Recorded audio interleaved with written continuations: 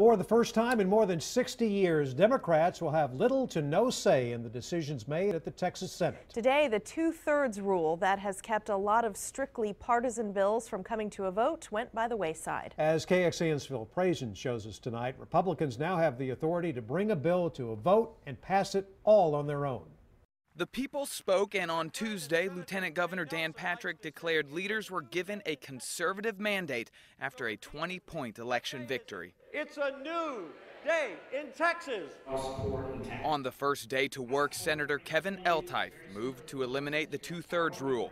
The eight new Republican senators changed the game. And most all of them have discussed this issue on the campaign trail. Before today, to bring a bill to the floor, at least one Democrat needed to say, Okay, let's do it.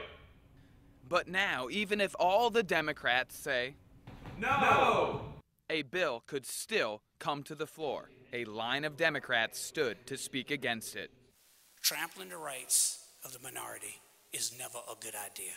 And I will wager each and every one of you, you will find yourself during this legislative session on the wrong end of this particular rule. So it's not just about Republican versus Democratic issues. That's not what it's about. Well, it's about better governing. Yeah.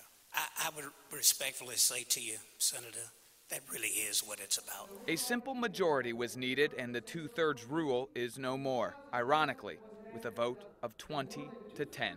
Phil Prazan, KXAN News. And in the past, the two thirds rule has made a big impact on what bills lawmakers actually vote on. For example, campus carry bills have never made it to the floor and therefore no vote. The proposals would have allowed people to carry guns on university campuses if they held a concealed handgun license. But back in 2013, many people we spoke to at the University of Texas were worried that move wouldn't actually make students any safer.